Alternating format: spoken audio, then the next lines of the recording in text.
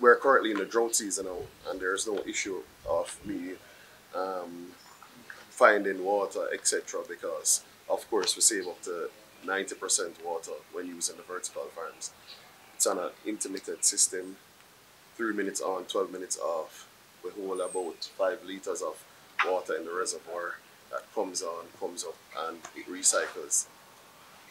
Wow. So this is farming of the future? Farming of the future, I would say.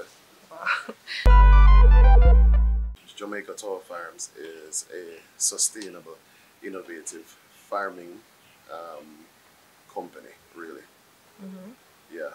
So we started by just sitting down and thinking about innovative things in the agricultural sector. I mean, I've always been a fan of um, the agricultural sector, being sustainable, self-sustainable, feeding the nation, etc. Where did the interest in farming come from?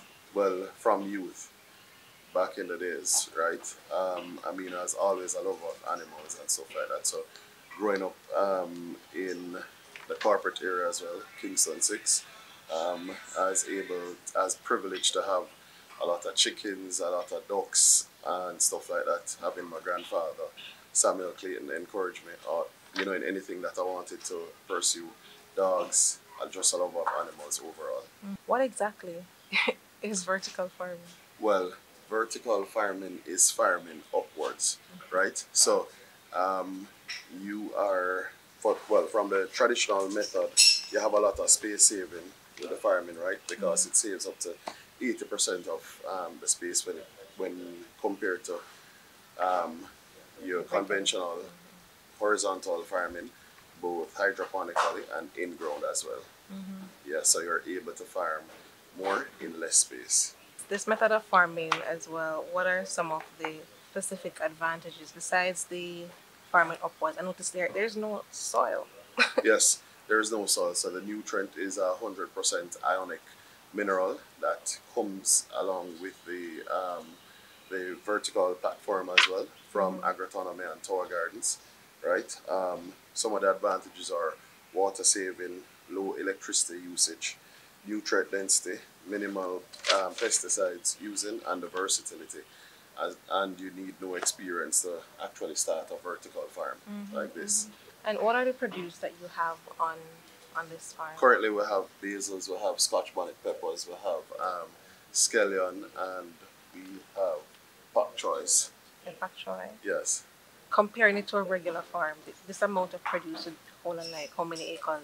Okay, so currently we're farming one acre of um, Scotch bonnet pepper, which is generally about 2,000 to 2,500. We have 2,000 um, plants here now of Scotch bonnet, and then on 10 towers, we're doing different experiments with the um, scallion, leafy greens, and basils as well. And why did you choose those those those? Um, well, I chose Scotch bonnet because, of course, you know the pepper industry is going through the roof. Um, Scotch bonnet is something that is in high demand and it's an easy seller.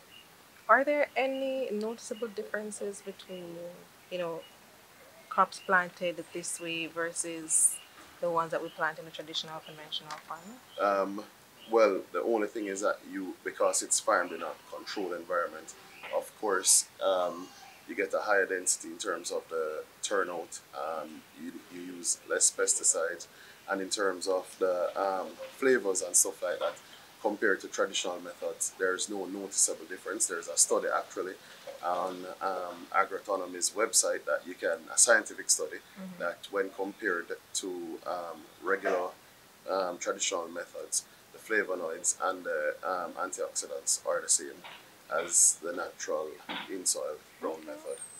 So this is the way to go then, because you don't really lose anything. Well, um, I mean, I'm still promoting um, in ground, but of course, if you have the constraints, I mean, generally speaking, we're on a quarter acre property here now, right, at a residential unit. Um, this is my home of dwelling, of course, and I'm able to farm commercially without having to go out and seek, you know, uh, three uh, a full acre of land. You understand what I'm saying? Irrigation, um, pests, etc. Yeah. So this is like We- We're currently in the drought season now, and there's no issue of me um, finding water, etc. Because of course we save up to 90% water when using the vertical farms. It's on an intermittent system, three minutes on, 12 minutes off. We hold about five liters of water in the reservoir that comes on, comes up, and it recycles. Wow. So this is farming of the future? Farming of the future, I would say. Wow. to to include the traditional method, of course. Once everything is, um, once you have once you have everything, all your ducks in a row, basically, right? Because as I said before, I'm still not going outside of the traditional methods, but this is for persons with, of course, um, a certain constraint to include, but not limited to space and, um, of course, land availability, um, water, and all the things that we're plagued with in the agricultural sector. There's an initial um, startup cost, obviously, right? Um, it was, but then again, um, as I said, you're looking at about 10 years in terms of sustainability, right? Based on um, based on everything, all the equipment and materials here that are used. So, um, really and truly, I mean, over the payback, the ROI for it is, of course, within the three to five years. So do you think this is something that the government should be promoting and investing in? Yes, um, I think they're actually doing it already. There are persons um, in the agricultural industry that are actually doing this already, Sashana, right? Um, using hydroponics, aqu- aquaponics, and even vertical farming too as well, right? Using their own methods. But do you think it is being promoted enough? Um, Or yeah. in in in more yes, more yes than no, right? But I'm thinking it's just the publicity and the public knowledge that needs to be increased and the public awareness because, of course, there's a lot of um, feedback, negative feedbacks to the unknown. Of course, growing outside of the soil. Why why why we need this in Jamaica? You understand what I'm saying? As the verses why because everything is natural. There are no chemical additives or anything like that. It's a hundred percent natural ionic solution that is used to farm, um, which is the farming, um, the nutrient method of delivery to the plants.